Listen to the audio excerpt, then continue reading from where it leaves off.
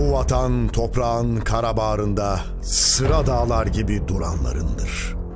Bir tarih boyunca onun uğrunda kendini tarihe verenlerindir. Vatan toprakları için bir öldük, bin dirildik. 18 Mart 1915'te tüm dünyaya vatan nedir gösterdik. Biz bitti demeden bitmeyeceğini dünyaya haykırarak 19 Mayıs 1919'da atamızın Samsun'a ayak basmasıyla her şeyin yeni başladığını işte o zaman gösterdik. Türk milletinin bağımsız azmini ateşleyen zorlu yollarda Anadolu'yu harekete geçirdik. Milli mücadelede kadın, erkek, genç, yaşlı demeden topyekün mücadele verdik.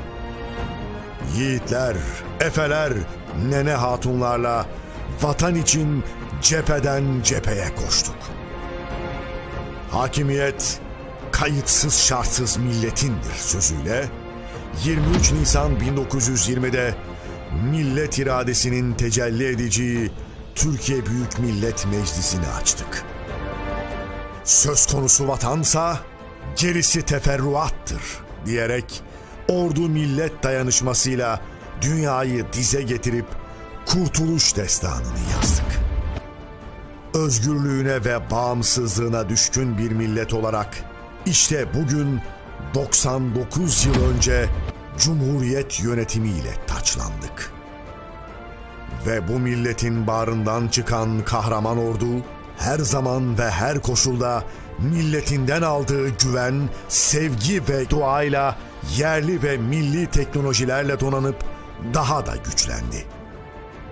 Dosta güven, düşmana korku salarak üç kıtada varlığıyla dünya barışına katkı sağlıyor.